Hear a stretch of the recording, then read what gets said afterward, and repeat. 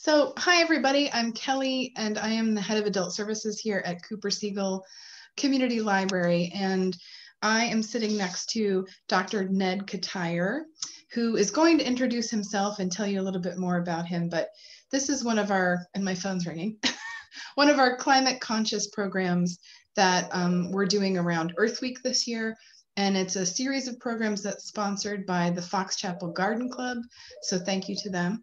And um, we're going to hear from Dr. Ketyer about um, fracking and environmental issues around fracking, which will be wonderful because I know so little about that. So I'm going to hand it over to you, Dr. Ketyer, and um, change the view here so everyone can see you.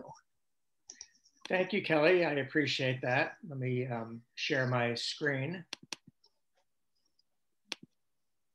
And can you see my screen? Yes. Very good. Okay, very good. Uh, and um, you know, if you know people who are watching this should uh, just move your uh, move the picture, the image of us uh, in the upper right corner on my screen. Uh, you know, feel free to move that or just click out of it so that you can see the entire uh, screen.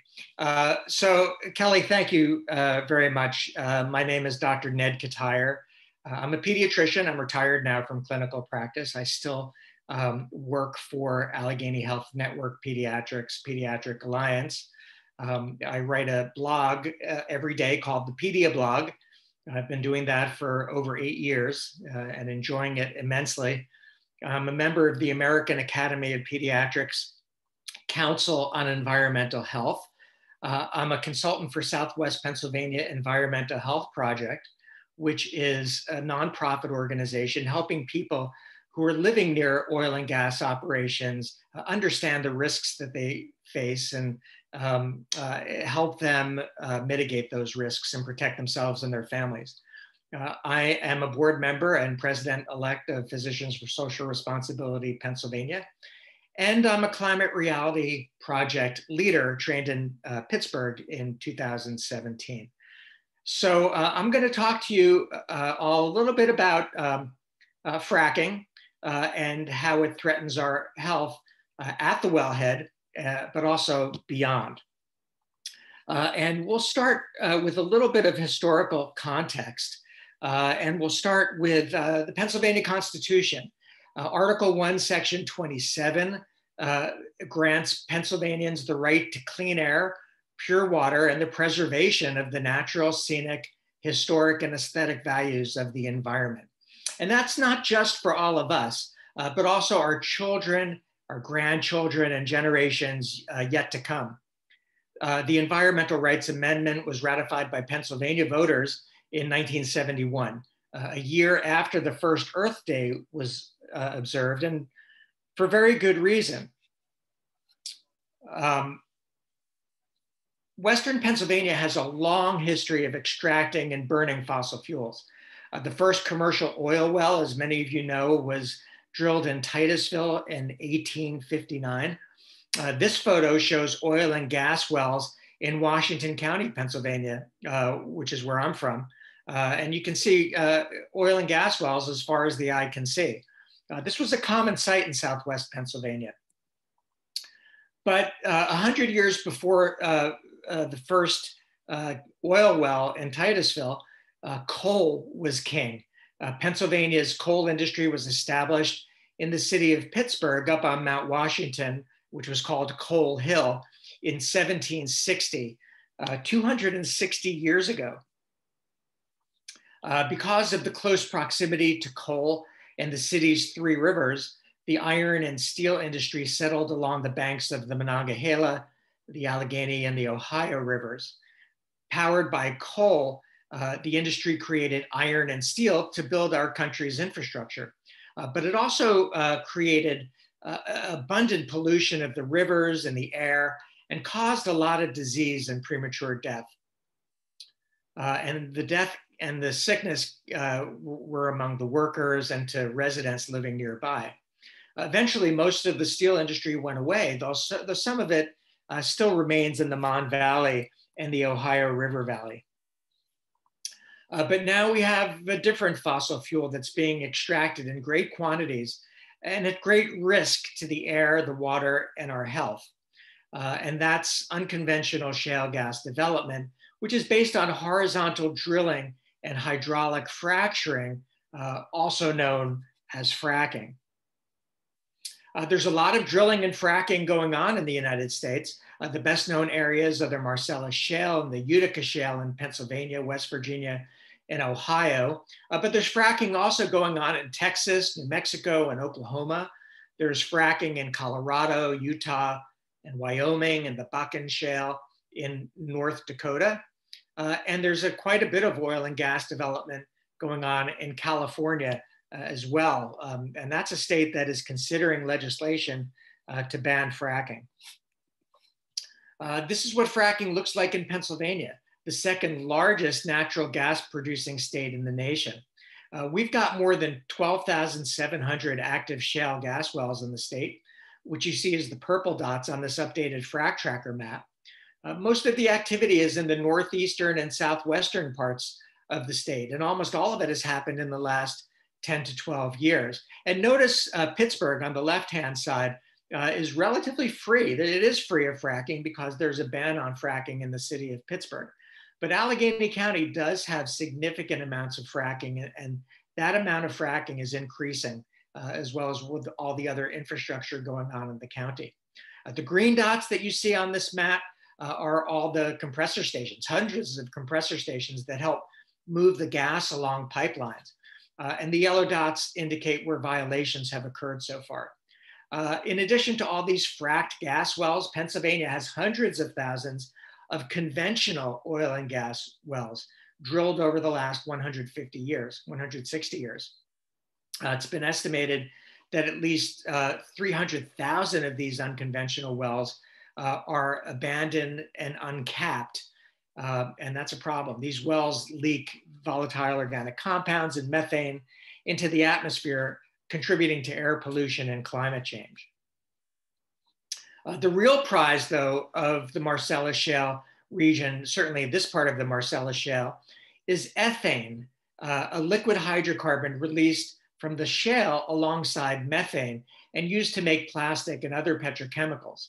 Uh, all of these wells that you see uh, as orange dots on this frac tracker map in Southwest Pennsylvania and Ohio and West Virginia on both sides of the Ohio River produce ethane, uh, which is uh, meant to feed this massive ethane cracker plant being built by Royal Dutch Shell just 24 miles down the Ohio River and upwind from downtown Pittsburgh. Uh, this cracker plant uh, they don't make saltines, by the way. This is, uh, this is a plant that makes plastic. It's one of the largest ever built anywhere, and it will transform fracked ethane molecules into ethylene. Uh, once the plant is completed and operational in the next uh, couple of years, actually next year, they say that they're gonna uh, start operations, it will produce millions of tons of these tiny plastic polyethylene pellets called nurdles which are put in boxes and sent to plastics factories uh, all around the country and around the world to create one thing that nature doesn't need any more of, more plastic. Uh, so let's uh, quickly talk um, about what fracking is. A lot of people don't really understand what fracking is. On the left of this graphic is old fashioned drilling, stick a pipe uh, vertically into the ground into a shallow reservoir of oil and gas, and up comes that black gold, Beverly Hillbilly style. That's not fracking. Uh, fracking is the middle well in this image, uh, which where the drilling goes much deeper, a mile or more uh, under our feet to reach an ancient shale rock formation. Uh, then the well is turned horizontally so the drilling can proceed laterally for a few miles more. Once the well is drilled and the pipes are cemented in place, millions of gallons of fresh water and chemicals and thousands of pounds of sand are forced into the well under extremely high pressure to fracture the shale and allow methane, ethane, and other hydrocarbons that were locked in the shale to be released and collected at the surface. But hydrocarbons aren't the only thing that come back up solid drill cuttings, rock and dirt, and salty corrosive brine return to the surface. Uh, the solid waste and liquid flowback are contaminated with fracking chemicals, heavy metals, and other earth elements found normally in these radioactive shale formations. Uh, Pennsylvania's Marcellus Shale is highly radioactive with water soluble radium 226 that has a half life of uh, 1,600 years, and radium 228 with a half life of just under six years. Uh, much of the waste is dumped in commercial and municipal landfills uh, where it sits percolating and then it leaches into surrounding soil, surface water, and groundwater. Liquid flowback is then taken by trucks and injected deep underground, uh, a process shown to contaminate streams and cause earthquakes. Uh, in addition, some of this toxic brine is diabolically packaged and sold to consumers and uh, municipalities as de-icing agents and pool salts. Non-fuel gases, these are the fumes of fossil fuels, return to the surface and contaminate the air we breathe. Volatile organic compounds, you've probably heard of benzene, which can cause cancer in children and adults. Toluene is another volatile organic compound that can cause permanent neurologic problems. Polycyclic aromatic hydrocarbons can act as endocrine disrupting chemicals, which interfere with hormone functions in the body, uh, especially related to growth and brain development in infants and children. Uh, radium um, uh, 226 decays into radon gas, which collects in basements and crawl spaces in homes near fracked gas wells. Radon, as you may know, is the second leading cause of lung cancer behind tobacco smoke. And finally, large amounts of methane leak inadvertently and are vented into the atmosphere and flared also into the atmosphere on purpose uh, in, uh, during fracking operations. Methane is an extremely potent greenhouse gas, and it leaks like crazy from fracked gas infrastructure. Any greenhouse gas savings you might get from burning natural gas instead of coal is instead squandered by allowing methane to carelessly escape from fracked gas infrastructure. And the wellhead isn't the only place where harmful pollution is generated. Uh, fracking is much more than what happens on a well pad and at a wellhead.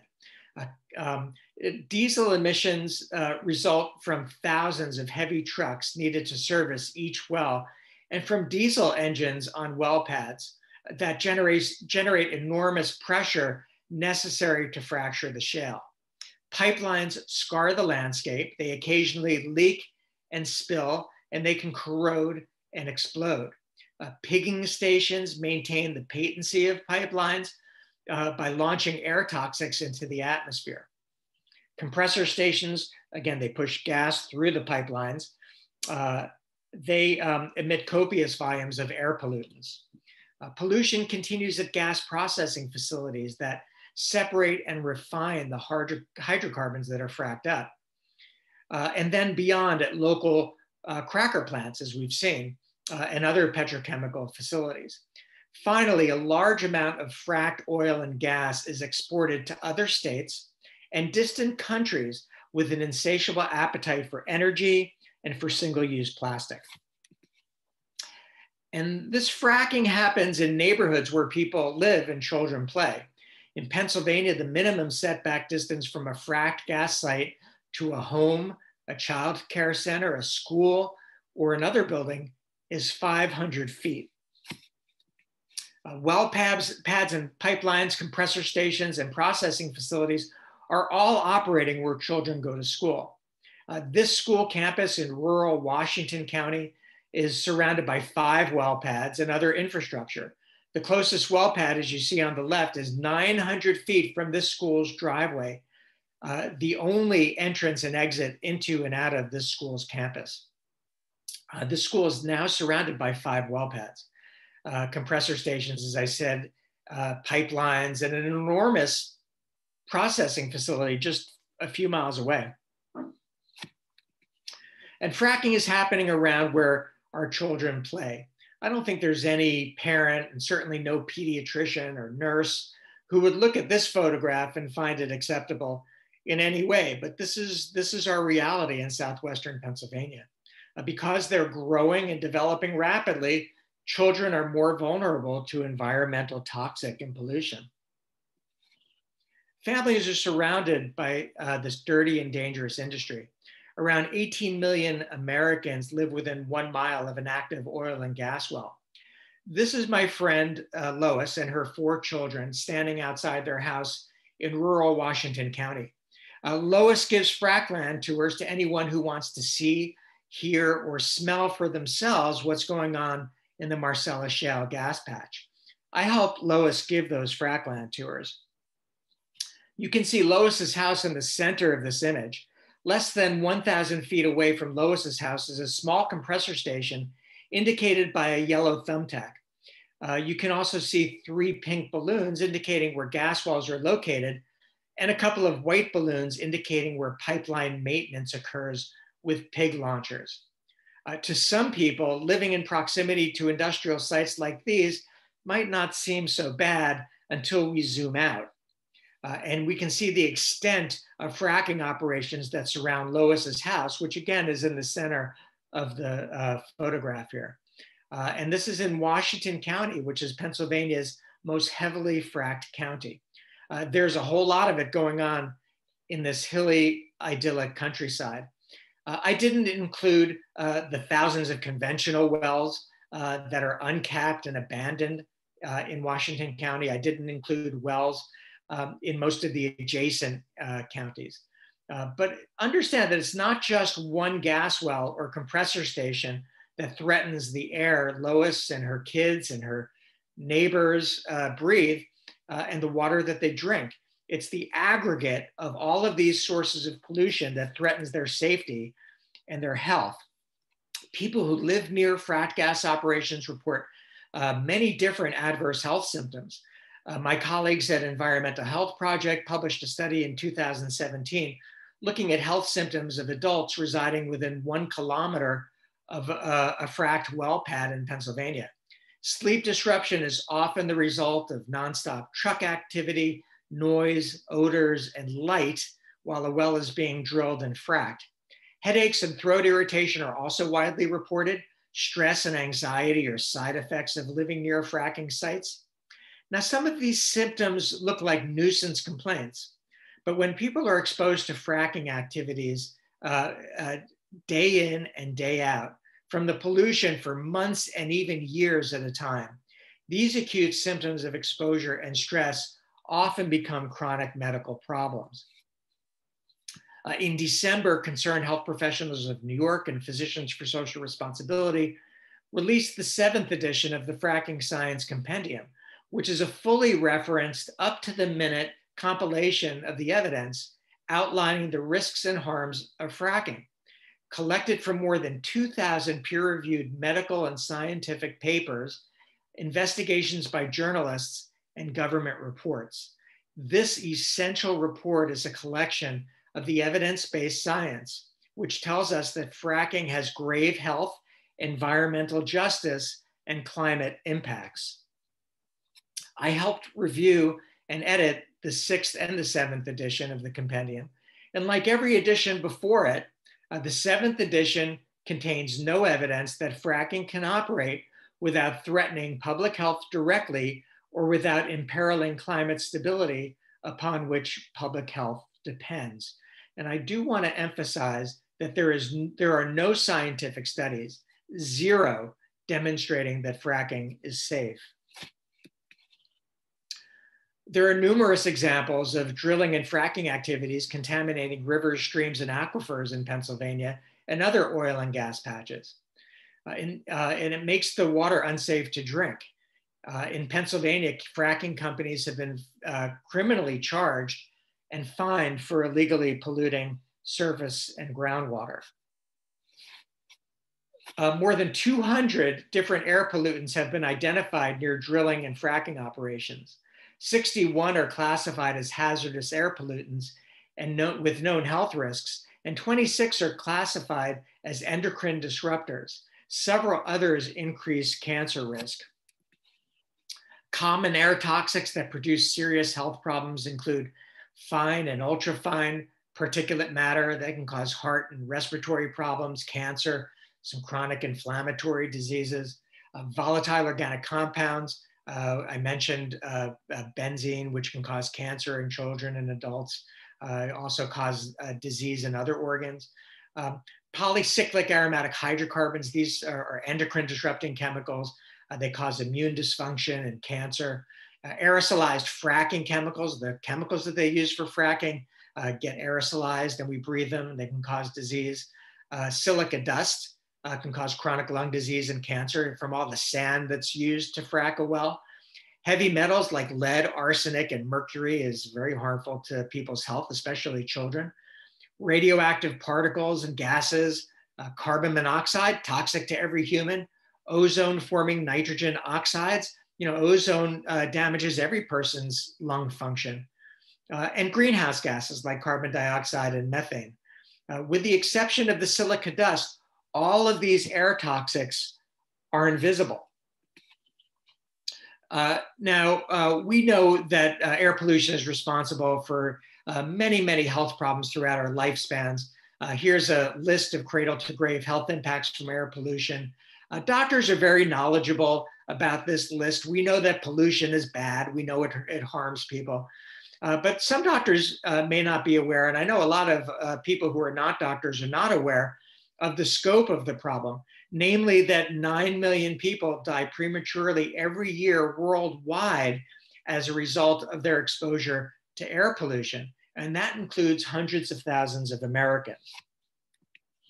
Uh, multiple studies now show that living near fracking sites can complicate pregnancies and lead to poor birth outcomes like prematurity, low birth weight, small for gestational age newborns, and birth defects, uh, each one of these having lifelong consequences for children, uh, their parents, and their families.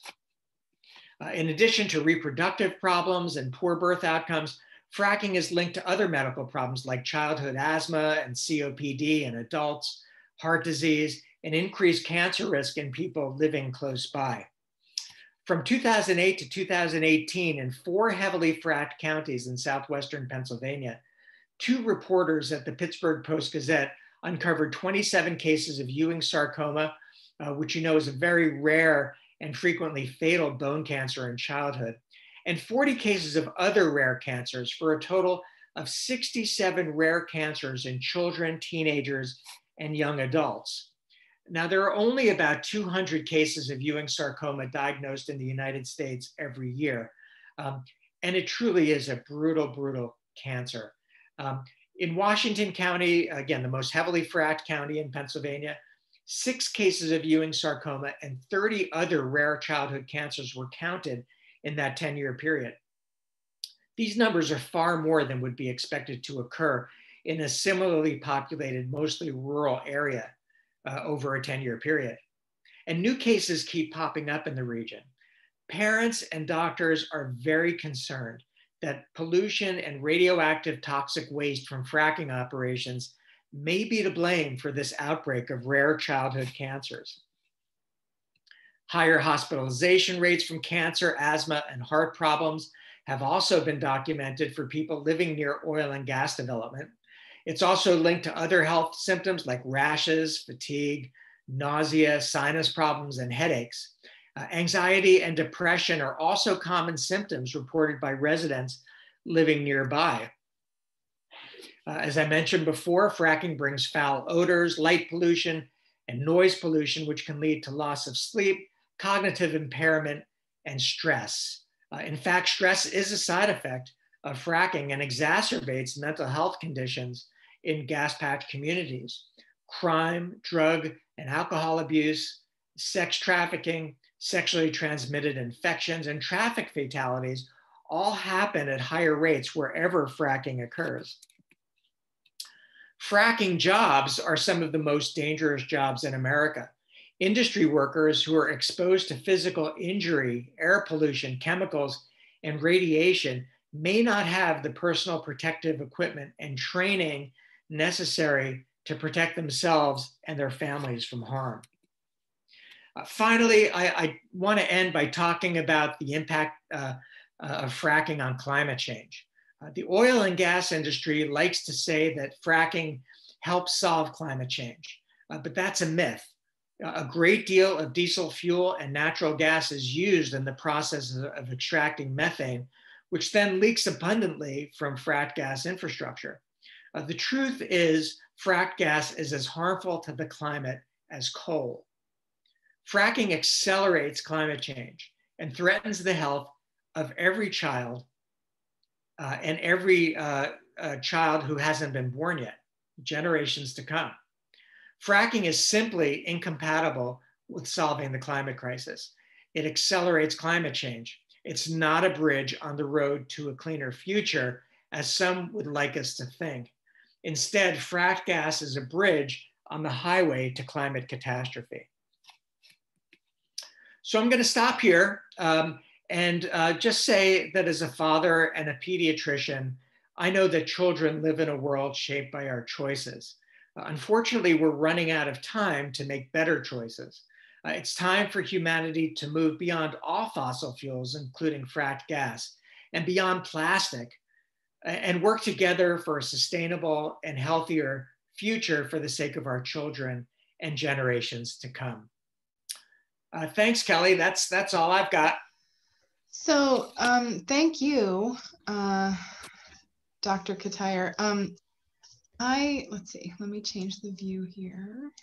Okay, so that was sobering, um, really sobering. And I imagine anyone else watching this who maybe didn't know a lot about it like I didn't, um, feels very weighed down by that, um, those facts. Um, you know my my first question is always when i'm learning something new about i mean any problem in the world is kind of what can i do or can i how can i be part of the solution versus part of the problem and um, yeah so when people ask you that when they feel i feel helpless or powerless what can i do why do you how do you respond to that well i understand um, why people might feel helpless but really uh, you're not helpless. Um, there are things that all of us can do.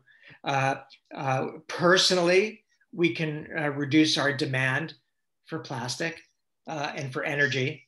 Uh, we can, as communities, find ways to reduce our demand for energy, for plastic, and for other materials made from fossil fuels.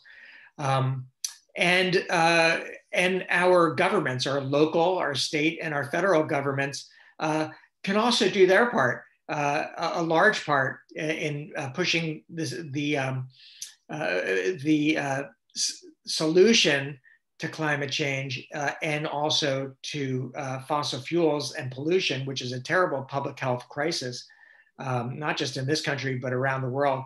our governments can do something. That means we have to vote.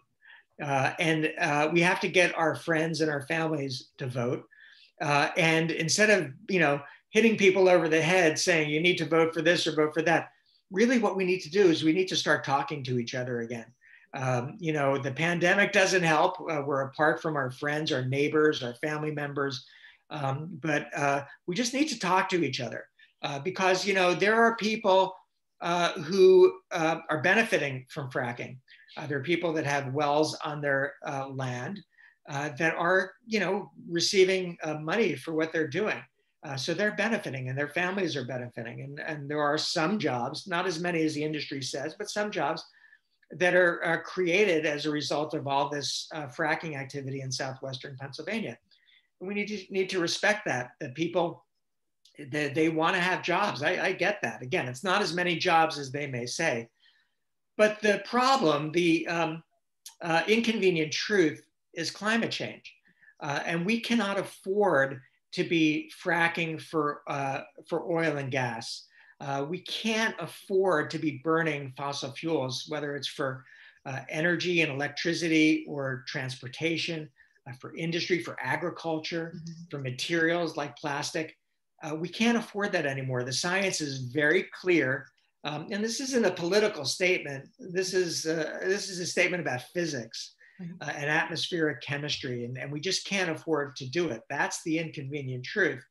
So we need to make other arrangements in how we live, uh, how we move ourselves from one place to another, uh, how we uh, grow our food and eat, um, mm-hmm. and what we eat, um, and uh, really how we care for this planet, because it is our responsibility. It's all of our responsibility uh, to care for the planet, uh, not just for us, but again, for our children and generations to come. So I think your question kind of, you know, what can I as an individual do? Get informed. Okay. Being informed is really important. You got to poke around. Um, you know, you got to you got to find information at credible sites. Okay, social media may not be the best place to be looking for information. Uh, Environmental Health Project is an excellent has an excellent uh, uh, web, website. It's an excellent resource. Uh, PSR, excellent resource. Resource. Our, our partner organizations uh, are are just terrific. They have great uh, information that you can find. You can start at EHP's website and, and go on from there. Um, but uh, again, talking to your neighbors. And if you feel strongly, you know, write an email or make a phone call to your local or your state or even your federal representative in, in Congress or in the state house or uh, in your county council and, and let them know how you feel.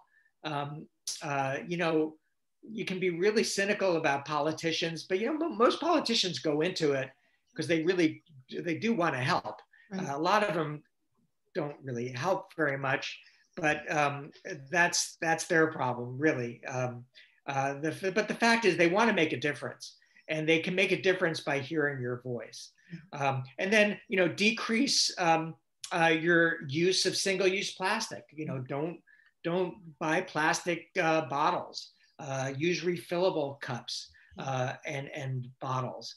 Um, don't use plastic utensils. Uh, be careful about where you get food. If you get takeout food from places that use a lot of plastic, maybe don't don't order from there next time. I know during the pandemic, it, it you know there's more emphasis on plastic, but uh, that that's just something that is uh, you might want to do less. You know, your next car that you drive, you know, buy a more fuel efficient car, um, or even think about a hybrid or, or electric. Um, eat less meat. I'm not saying don't eat a hamburger, but you don't have to eat as much of it. You, you, try to eat a little bit less. Your, your doctor and your cardiologist will thank you if you eat less uh, red meat. And the planet will thank you too, because it'll be less greenhouse gas emissions. Uh, and, and, you know, there are lots of things that we can all do a little bit of. We can all do a little bit, it'll make a big difference. And, and we have to recognize also, as far as climate change, that uh, about 100 companies, multinational companies, uh, are actually responsible for more than 70% of greenhouse gas emissions. So they have a responsibility too, and we can push them by the choices that we make as consumers. Yeah. It's really that's really helpful to think of ourselves as as empowered to make small choices that affect everything. Um, yeah. Oh, I think you're frozen. But um, well, yeah, are you there? Okay. Yes. You now.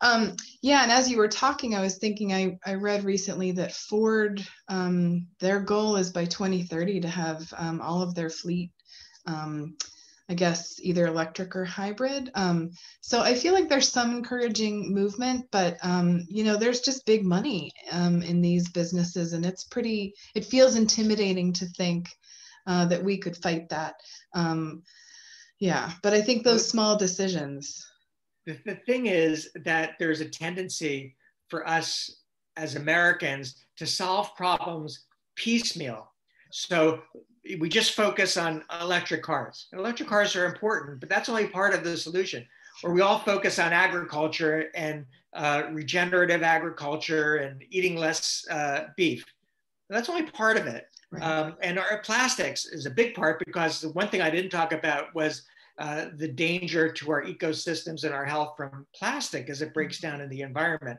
That's a, that's a huge problem. Yeah. Um, uh, but so th- there are lots of ways that all need to happen simultaneously. What really what we need is a um, is a comprehensive, uh, coherent uh, policy that brings all of these solutions together so that we can all move together and, and all benefit, frankly, from making the transition right. away from fossil fuels and fracked gas. Right. And it's really helpful. I mean, just to be informed, you know, knowledge is power, and we love that as librarians. Um, and hopefully, this program and presentation um, can help people become a, a, lot more aware of what's happening. And, and as you said, it's really happening right in our backyard. Um, and so it feels particularly important for Allegheny County um, and the surrounding counties. Um, thank you so, so much for delivering tough but important news uh, to us about this. And, um, you know, hopefully we can all start to make some of those small changes and really vote um, with these uh, issues in mind. So we so appreciate it, Dr. Ketyer. Thank you. Thank you, Kelly, for having me. I appreciate it. Thank you.